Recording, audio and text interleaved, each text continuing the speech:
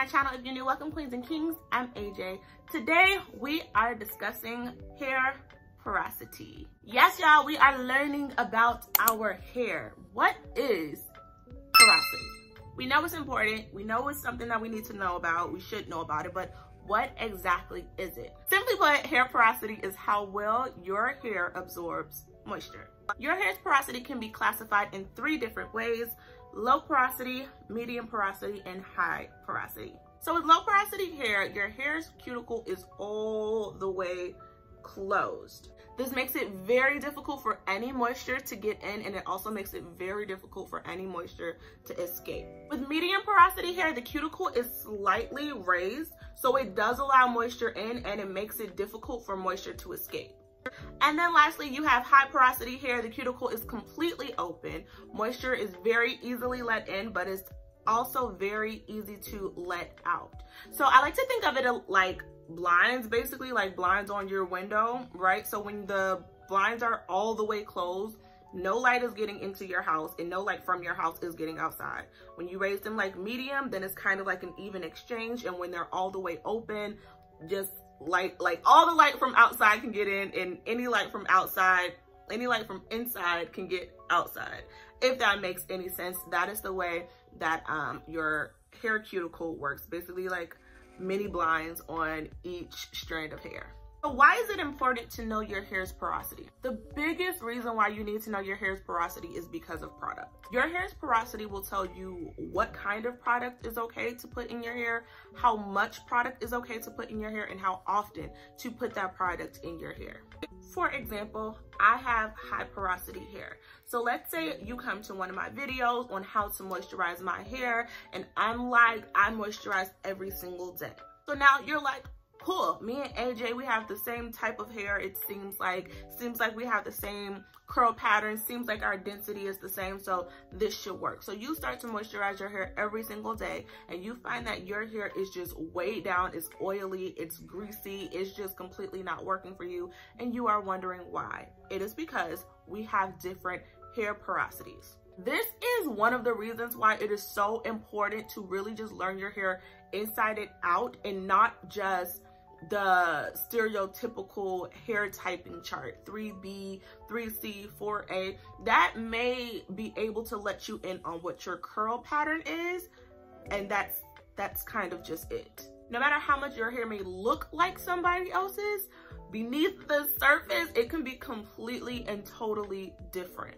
So how do you know? How do you know what porosity your hair is? Well, if you have low porosity hair, it'll be quite obvious. It is very, very difficult for moisture to penetrate. So this may mean that um, when you get your hair wet before you shampoo it, like you really have to spend some time soaking your hair with water before you start to feel the weight of your hair like before your the water actually starts to get into the shaft of your hair and weigh your hair down you really really really have to spend some time in that water. Because the hair is so hard to penetrate, a lot of times water just sits on top and you can literally see water beads on your hair, like actual beads of water on your hair. Same thing with product. Like if you overuse product, you will see the product just sitting on your hair is really, really, really easy um, for you to get buildup if you have a low porosity hair because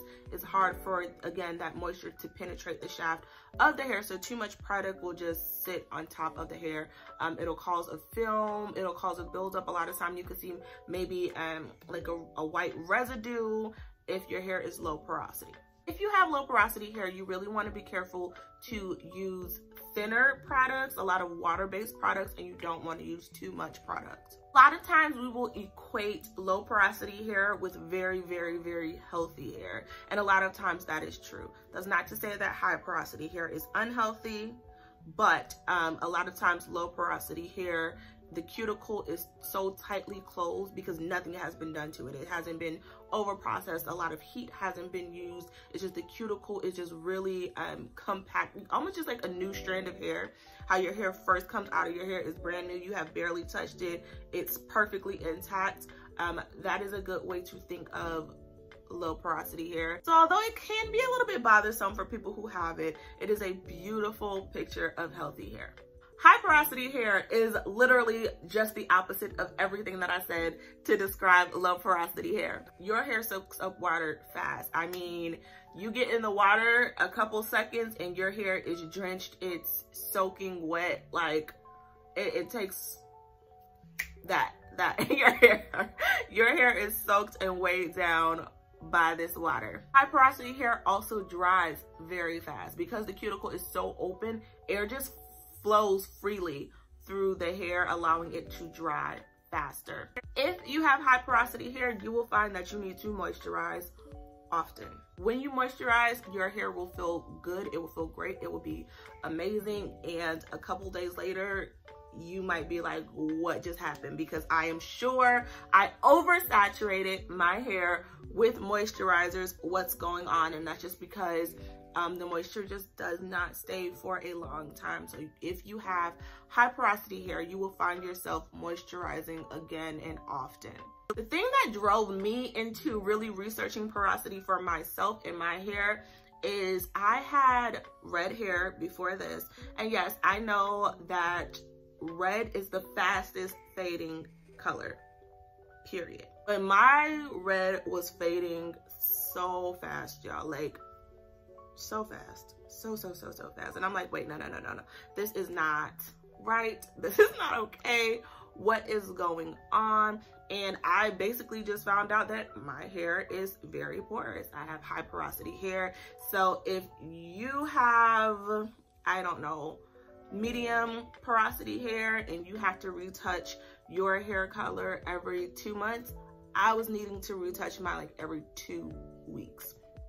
Um, so, and at the time I did not know what was going on. It was my first time being red. And I heard everybody like, oh, well, red just fades fast. It just fades fast. It just fades fast. But it was like, mm, no, it's like super, super fast for me. So people who you see changing their color, like their hair color week by week, and they could just put these colors in, a lot of times they have high porosity hair because although it is very easy for them to get these very bright pigmented colors, they're faded in a couple of weeks because high porosity.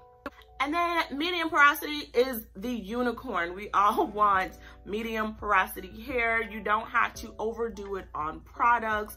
Um, it's, it's a very even, like it really is just kind of like high porosity, low porosity. You don't really have too many problems when you have medium porosity hair. Also keep in mind that hair porosity can change. So the lowest porosity that your hair is ever gonna be is when it comes straight out of your scalp. That is low porosity. Your hair closest to your scalp is low porosity. Now, if you go ahead and let that grow out and then in a year you decide to bleach that, that now low porosity hair may become medium porosity hair because the cuticles had to open up a little bit to let that bleach in. Going back a little bit to what I said earlier, that high porosity hair does not mean not healthy hair and it does not mean damaged hair. However, a lot of people will equate it because high porosity hair tends to come with over bleaching, um, using um, hot product straighteners, uh, blow dryers on high heat, the cuticle of your hair has to open up in order to receive these things. So the more that you do this, the more it opens up your cuticle. And so it tends to weaken your hair a lot. Um, people who have overly bleached, y'all, have y'all watched hair fails? Like I love watching hair fails. I'm sorry. I don't mean to laugh at people's misery, but I love watching hair fails. It was like crazy to see like on these shows, these channels, these hair fails. One of the biggest ways that somebody can tell that they have over bleached is they'll bleach and bleach and bleach and try to apply like a toner on top of it. And the toner will not take. The cuticle is blown out. It's just open like nothing will stick to it. So you can have high porosity hair and your hair not be damaged. Um, but I also don't think that it's like the the perfect picture of health either. Um, and if your hair is color treated, bleached, and you find that your porosity is starting to become higher, that is a really, really good indicator that you want to lay off the bleach for a while, lay off the heat for a while, and just let your hair be because you never want to get to the point where your hair cannot retain anything, any moisture, any color, any anything. If that's the case, I'm just gonna be real. You might as well just go ahead and start over. So your hair porosity um, is a nice gauge of your hair's health, in my opinion. Yes, it's very, very important. Like we have to get to know our hair. I am so happy that we are in such a natural hair movement right now and that everybody is really learning and embracing their hair. Uh, but it's not enough to just wear a fro or, or locs and say, you know, mm. like in order to get healthy hair, maintain healthy hair, um, for our hair to grow long, you know, we really have to understand our hair. We really have to um, put a little bit of work in. So know your hair's density, know your hair's porosity. Do you have fine strands with the with a lot of density? Like really, really find out um, your hair. That's the way that you can stop being a product junkie. Like you tell the truth, you have 15 different products that all claim to do the same thing. But why isn't it working for you? Because it's not for your hair. So you have to really, really learn your hair so it can thrive, okay? We picking up all of these lessons in 2020 so that our hair can thrive in 2021. That's what we're doing. When did you find out your hair is porosity. Do you, know? Are you still figuring it out? Let me know in the comments below. You know, blah, blah, blah, blah, blah, blah, blah. Let me know in the comments below. Share this video, y'all, because sharing is caring. And I will see y'all in the next one. Till then, be bold, be empowered, be beautiful.